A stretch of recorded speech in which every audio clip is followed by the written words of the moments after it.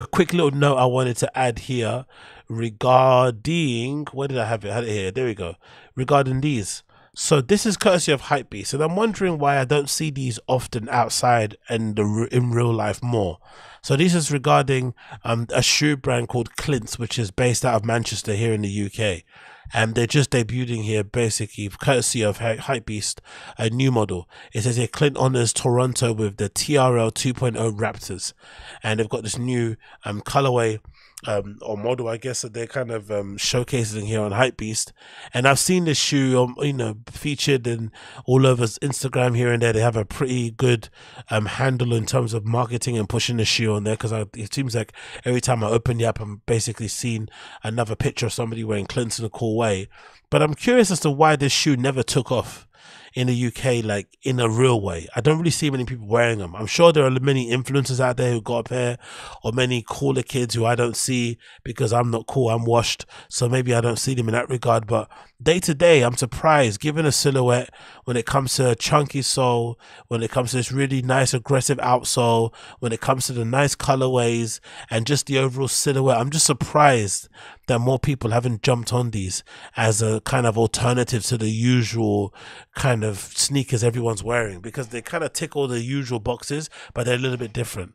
So if you're fed up of wearing Air Force Ones, you're fed up of wearing Jordans, you're fed up of wearing Salomon's, Vans, whatever it is that everyone's wearing out there, I feel like these Clints are a little bit more interesting than what you would see out there. Maybe, but I was just thinking myself, if I had to theorize as to why these maybe haven't taken off the way they probably should have, a part of me thinks there's probably a little bit too much going on in the paneling on the upper. There's probably too much going on there in terms of the amount of different panels there. I'm just going to count here the amount of different pieces that make up the whole entire upper. Um, just off the top of my head, you're thinking one, two, three on the toe box alone, maybe four, including the mesh kind of underlay body thing. You got five here with the eye with the eyelets, um, with the eyelets eye stay, whatever that thing is called. You got maybe six here, seven with a heel tab, and maybe a little bit more, maybe eight here with this 3M that runs around it. There's a lot of different panels too much probably. So it probably looks a little bit too busy. So that might be a reason why people are not really jumping on them. Um, and then maybe it would be a little bit hard to wear for some people with certain outfits because of how wide and bulbous they look. I see someone in the chat mention they look like a knockoff of Osiris. Yes, pick up Crash. So that may be a reason too, because I think those Osiris D3s, as great as I think as they are as a shoe, to the regular person on the street, they're kind of hard to wear with your regular items, right? Um, especially if you're going to be out there wearing, you know, skinny jeans and a flipping, you know, cardigan or something, wearing maybe Osiris D3s and shit isn't going to work out. So maybe this Clints are the same thing. But this is courtesy of Hypebeast. Read the article quickly. It says Manchester based label Clints is continuing its experiment with um, footwear design and shows no signs of innovation. Holt, the brand consistently delivered fresh products that differ from the current UK offerings, um, including the Stepper, the Stomper boot, and more. The Clint's TRL 2.0 is the brand's most notable pair and takes inspiration from the classic Trek footwear. Clint's recently un- unveiled France and Japan inspired designs and highlights Canada for its latest drop.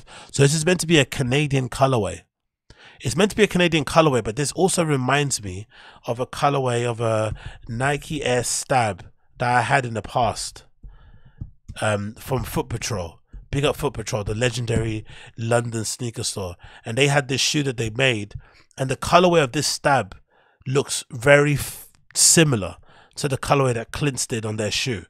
Am I am I am I bugging? I don't think I am. So it's weird that they would say this is a Canada colorway when it just looks like a copy and a rip of what flipping Foot Patrol did with their shoe back in the day.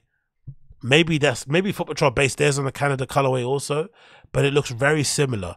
That Clint's colorway and this, and this Foot Patrol um, air stab that came out. I think, if I'm not mistaken, yeah, 2005. It's a long time ago. The shoe came out. Um, but yeah, that I purchased back in the day, so it looks a little bit familiar to me, like that Foot Patrol shoe. But anyway, let's go back to the article.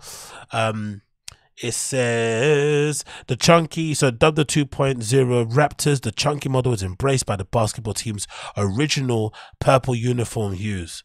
Um, okay, it's, it's okay, it's, it's by the Toronto Raptors. Let's see Toronto Raptors jerseys.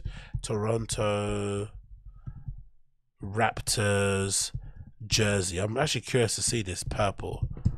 I didn't know it was purple. Okay, cool. Maybe that is inspired by it. Maybe it does come from this. I don't remember it being that color. I'm not really a big basketball fan, so I wouldn't know too tough. But it does it does kind of look similar, doesn't it, to that colorway? So maybe maybe I'm wrong in that regard. That Clint shoe does look quite similar to this. Okay, fair play. Fair play to Clinks. To Clint, sorry. Um, it continues. A purple suede I sent hit the toe box. You know the deal. Um, the Raptors above. Um, are going to be coming out and you need to enter the raffle obviously to go and purchase them. So although clint's are offering a different models and different silhouettes and shapes from the traditional brands they're still selling shoes the same way which is a bit of a disappointment to be honest. You know raffling you know raffles technically when i was growing up a raffle meant you would pay a nominal fee for a raffle ticket, but then that raffle ticket could then grant you the opportunity or the chance to win something that's way worth more than the price of the ticket that you paid. So you just one pound for raffle tickets or 10p, whatever it would be. You'd buy rolls of them, and maybe you might end up with a washing machine. You might end up with an iron, with a bag of popcorn, whatever. It'll be way more, more worth than what you you know you know you purchase a ticket for.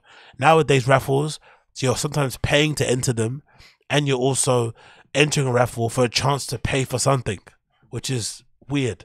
So the whole term raffle never really sat well with me, especially when it relates to sneakers and shit. It's weird, especially when you think about most of the brands out there are essentially, you know, creating artificial scarcity in order to make their flipping shoes more limited than what they actually are. They could just make way more, but they don't. They choose not to. It's annoying. But hey, what can we do?